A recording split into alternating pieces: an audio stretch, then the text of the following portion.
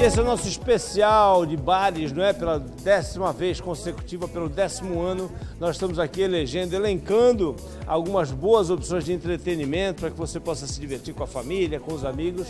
Estou com o Igor aqui ao meu lado, que é do Black Jaw. O Black Jaw já é costumeiro participante do nosso especial de bares, participou de vários deles, né? É um bar que tem aí uma série de atrativos especiais, música ao vivo, o estacionamento, que é uma coisa. Aliás, o estacionamento hoje em dia tem sido né, uma briga grande, né, Igor? As pessoas, a cidade está com uma frota de carros bastante numerosa, o estacionamento conta muito também, né? Além, claro, das, das atrações que o Black Jaw oferece. É, o estacionamento para todo cliente Black Jaw é gratuito. É, né?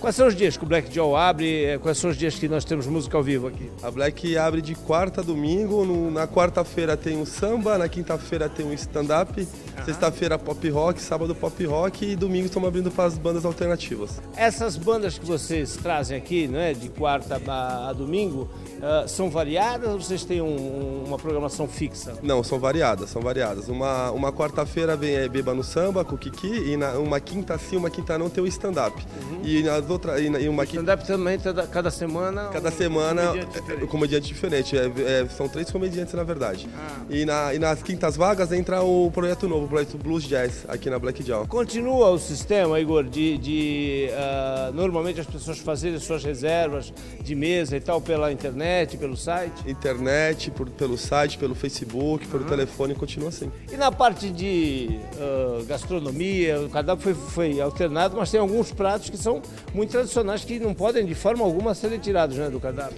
Filé Black John manteve, né? não, não podemos tirar, né? É, manteve filé... Pode mudar o nome do bar, mas o filé Black John não pode mudar. Não, o filé Black John manteve sim e novos coquetéis também foram inseridos no cardápio. Ah, o Black John tem uma, é uma das grandes vantagens também, a gente falou do estacionamento, né? Que aí não precisa nem falar do número de, de vagas que tem aqui, mas no Black John mesmo a capacidade também é bastante grande, né? Aqui dentro quase 200 pessoas deve caber e lá fora 200 pessoas aqui, aqui dentro, lá fora é 70 pessoas. Black Jaw é uma das nossas indicações.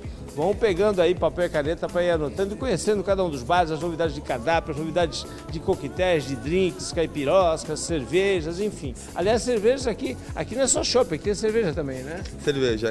Agora estamos com, com a parceria com a Heineken, da Shop Heineken. Cerveja é cerveja prêmio, servimos Stella, servimos Heineken, servimos Corona. A gente, né, no, no, no passeio, vocês vão observar, nesse nosso passeio pelo pelos bares, né, nesse nosso circuito, nós temos observado muito isso, né, a inserção de uh, marcas de cerveja gourmet, não é? de cervejas artesanais. Tem tido muita procura mesmo, Igor, a ponto de, de, praticamente todos os bares que realmente se preocupam com o cliente terem aí a, a acrescentado no seu cardápio essa, essas opções? Sim, é, colocamos sim, colocamos, inserimos três tipos de cerveja Tem artesanal. Uma saída boa. Uma saída boa, sim, é. sim. Legal.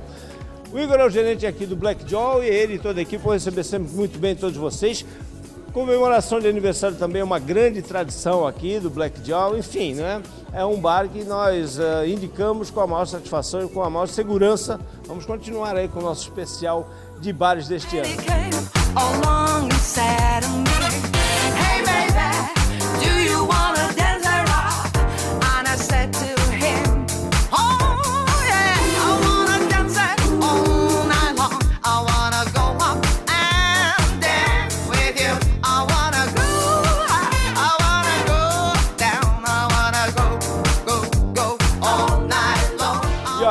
Casa que tem aí não é, uma consideração, um carinho muito grande por toda a população da Baixada Santista que está sob nova direção é o Juá, não é? O Juá, quem é que não adora né, vir ao Juá, contemplar esse visual maravilhoso que ele oferece? Eu estou com a Cecília Nisti, que vai falar sobre não é, é, essas novas ações, as novas campanhas que o Juá vem desenvolvendo nos últimos meses uma programação diferente para públicos diferentes a cada dia, né? Sim, boa noite.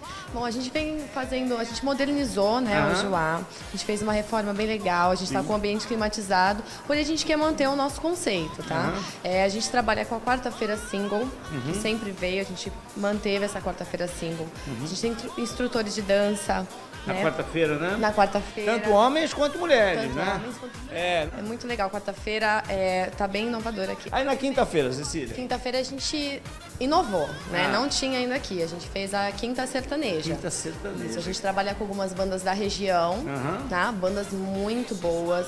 É muito legal, o pessoal se diverte bastante. É um dos dias que tem uma frequência mais intensa aqui. Uma né, frequência mais intensa, um público mais jovem, né? É, que agora que a nova moda é sertanejo, né? Então É, tá todo mundo. E a Baixada Santista tem bandas excelentes mesmo, né? Sim, com certeza. Não é? Sexta-feira a gente vai fazer, a gente continua com o flashback, Uhum. né? Mas também mais moderno. Bomba sempre. É, né? O pessoal tá adorando sexta-feira agora também. A gente sempre tem promoção aqui na casa. Não nada fixo, né? Mas Uhum. É. a gente tá sempre inovando. Aniversariante também é bem legal, Uhum. né? Se reservar a mesa aqui com a gente, ganha uma garrafa de bebida. Sim. Gente Pode ser às vezes um vinho, uma uma champanhe. vodka, depende vo- do é, que uma tiver disponível na casa, a gente dá. Aham. É, a gente anuncia no palco também, que a galera legal, canta canta parabéns, parabéns, é. o pessoal faz uma festa. As pessoas podem vir para dançar, podem vir para comemorar seus aniversários, podem vir para se reunir com os amigos, podem vir para jantar também. Né? Muitas pessoas imaginam o Joá assim, só para petiscar, só para comer as porções, que aliás eu estou colocando algumas no ar aí, né? tem uma variedade enorme de, de alternativas, mas tem também a opção de jantar tranquilamente, como num restaurante. né? Outra coisa que a gente conseguiu manter Aham. é o jantar. A gente tem jantar a noite inteira, Aham. né? Não, não tem um pedido. A hora que você quiser jantar, é uma comida muito gostosa. É, olha, ah, uma carta de vinho selecionadíssima, tem drinks, né, os mais variados e mais bonitos possíveis e, enfim, né, é um local que a gente não poderia deixar de elencar entre as nossas indicações nesse nosso especial de bares. O Joá é um pouco de tudo, é um pouco de bar, é um pouco de boate, é um pouco de restaurante, enfim, né, é uma casa grande, infelizmente e a Cecília, que é baladeira, deve concordar comigo, a, a gente tem poucas opções quando chega próximo da meia-noite, né? Infelizmente, a nossa cidade, no, no cenário noturno, é, às vezes você termina um trabalho tarde, 11h30, meia-noite, quer passar em casa, trocar de roupa e sair. É uma raridade hoje, né, Cecília? Porque às vezes a gente roda e não encontra a casa aberta. Com certeza, principalmente aqui na Baixada, né? É, exato, é. A gente É. sempre tá com fome, às vezes sai realmente coisa. do trabalho tarde, aqui É.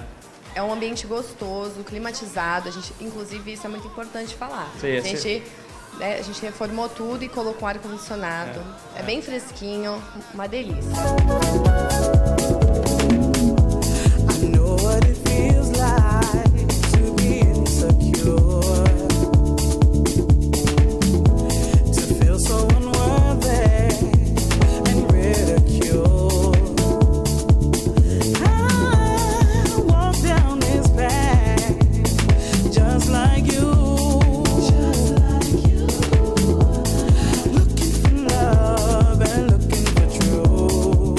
E olha, mais uma grande novidade que participa esse ano do nosso especial de bares, né?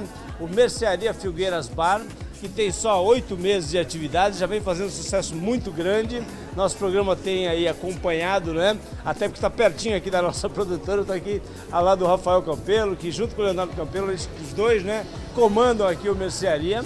E foi uma surpresa para vocês essa, essa, essa frequência constante do público aqui? O bar está quase sempre cheio. Para vocês foi ah, ah, já era esperado ou foi uma surpresa? É, foi um grande desafio porque a gente a gente está indo numa, numa pegada mais ou menos de São Paulo, Sim. onde que são bares de pessoas que frequentam acima de 30, 40 anos. Esse é o nosso público médio aí, um público mais, digamos, mais elitizado, que mais que está acostumado com alguma coisa de São Paulo. A gente até serve é, o, o, o sanduíche de mortadela, né, que você pode comer em São Paulo. Aliás, olha, o que tem de gente que sai de Santos, né? Para ir a São Paulo para comer sanduíche de mortadela, o pastel também lá do Mercado Municipal de São Paulo. Vocês também têm aqui o pastel, né? Tem o pastel também, o pastel é igualzinho do Mercado Municipal de São Paulo. Então a gente tem essa luta diária, porque as pessoas elas costumam ir a São Paulo, então a gente quer que as pessoas fiquem na nossa região, que elas invistam na nossa cultura aqui em Santos. E até, e até muito mais tranquilo para as pessoas, né? Estar aqui na Tolentino Filgueiras, em pleno Gonzaga, né? Com muito mais comodidade, muito mais conforto, muito mais acessível. Vocês servem almoço aqui também, né? O bar abre para almoço, né? O almoço de segunda a sexta-feira, das 11 às 15 horas. Aham. Você tem a opção de escolher um peixe, um frango Ou uma carne. ou uma carne e mais as guarnições à vontade. Você ganha uma salada e também ganha um suco. De segunda a sexta, das 11 às 15 horas. O que é muito confortável também para as pessoas que trabalham no ao redor aqui do Gonzaga, né? Uma refeição rápida e a- praticamente personalizada. A pessoa vai montando cada dia, ela tem opções e. e, E esse foi o nosso grande desafio, porque a gente conversava com todo mundo da região. São comidas rápidas, o prato sai de no máximo 10 minutos, está na mesa o prato. Então, porque as pessoas normalmente que estão em volta, elas têm meia hora para comer. Então, preço acessível, a partir de R$ 17,50 e comida rápida. Esse foi o nossa, nosso investimento aqui para que comece a gerar mais, Mais almoços, público, né? No caso, mais público. Que legal. No período eh, de happy hour, né? Também tem sido muito frequentado aqui. Hoje nós temos até aqui uma mesa de troca de presentes de, de Páscoa, né? É, exatamente. A gente via que tinha essa, essa dificuldade de trazer as pessoas fazer happy hour em Santos, em São Paulo, de novo. É uma coisa muito comum em Sim. São Paulo. Inclusive, a gente tem uma promoção. A pessoa toma um drink ela ganha um outro, né? Aham. De segunda a quinta-feira é o double drink. Ela escolhe um drink e ela ganha um outro. Qualquer Essa é drink, uma caipirosca, um... Caipirosca, qualquer drink, né? Que a pessoa escolher, ela vai ganhar um outro. Vocês também têm outras promoções durante a semana de double, né? Tem o Double, a gente vai começar agora a servir chopp a partir da outra semana.